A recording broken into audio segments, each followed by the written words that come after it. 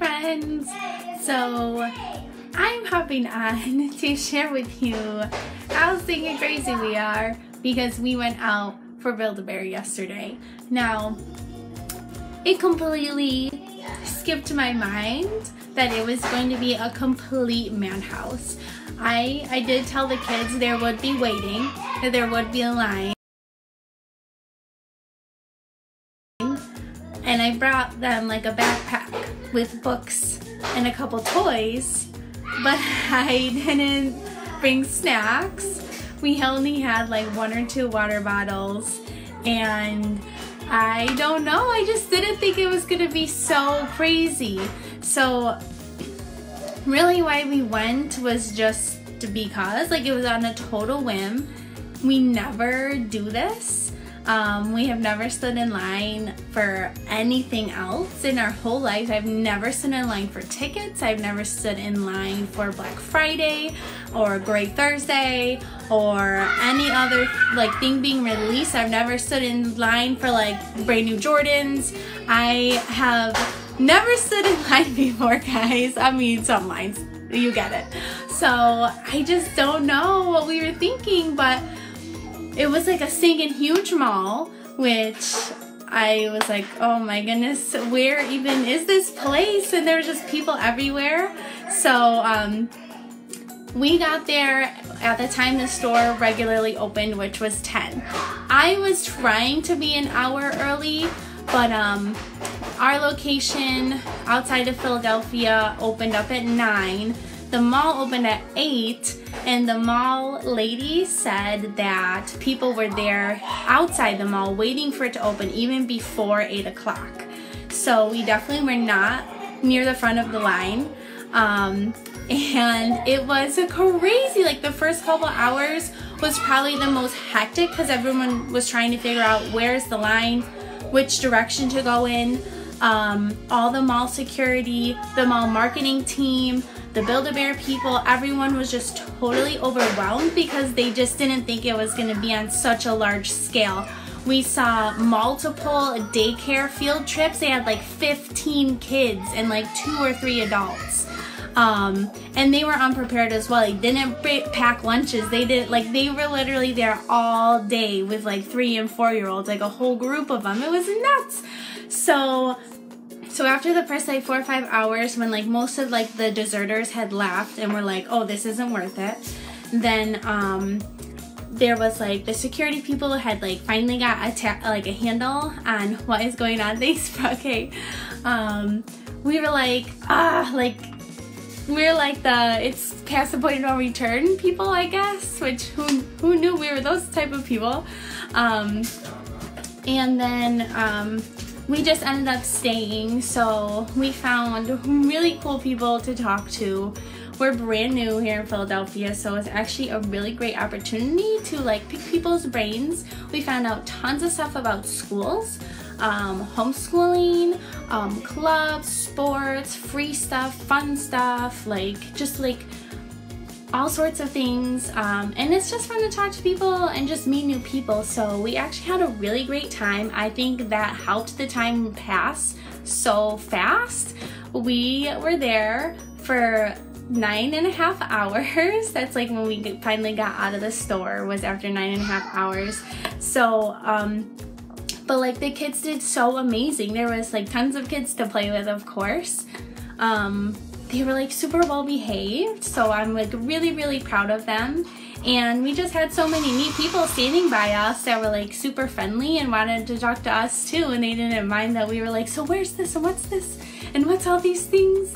And um, now we're like Facebook friends and stuff so I hope we'll be hanging out. We had a lot of fun yesterday. Um, there was um there was no like drama as far as I know like at our location. Nothing was like shut down. Like there was no like riots or fights or anything. So I think um pretty much everyone handled it with grace and ease and you either just decided to stay or you decided not to and it went really well.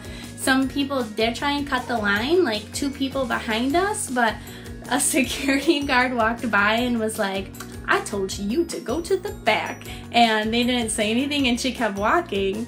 And then like five seconds later, the girl right behind them was like, yeah, you shouldn't have got in front of me. and and then after a minute or so, they did um, they did remove themselves because they didn't belong there. But the whole the, that was it. That was so minor. Um, we finally got in to talk to the to see the Build-A-Bear people, and of course. Um, they were totally unprepared. We asked them like did they know like all of this was going on? And they said they had one week notice. And um, the corporate or whoever had just told them there was going to be a big event at the store on this day. So just be ready there's a big event. And they pretty much found out when like the rest of the world found out. And um, they had set up some you know those like black lines that you just like keep people in lines with like the stretchy things and the posts um, they had stretched one of those down the hallway maybe like four stores. And this was like a three level mall and it was huge. I bet if you walked around the whole mall, it was like almost a mile. And the, the line went around the whole mall. It was like over probably like a mile worth of people. They said they did close to 600 bears and they did like 50 to 60 bears per hour. So it was it, it was a long time but we had a great time. Everyone was in a great mood. We came home. The kids were late to bed but just it worked out great and we got such good info from the people that we were standing around. That was extremely valuable. And um, there's really no other time that our family is just standing around being with each other and not doing anything else most of our phones died or we had like taken them all the way downstairs to this like lockbox charging station. You can actually just like leave it there um, and come back for it later. Um, so we weren't looking at our phones a ton. I wasn't cleaning or cooking or doing all these other things where the kids are like, Mommy, are you gonna play with us or take us to the playground? You know, so I, I feel like we felt like we actually got to like hang out as a family and just be face to face with each other all day. Um, and it just went really smooth for us. And so we had a good experience. It was long. I'm, I am surprised we stayed the whole time. We wouldn't have done that if we knew that was happening.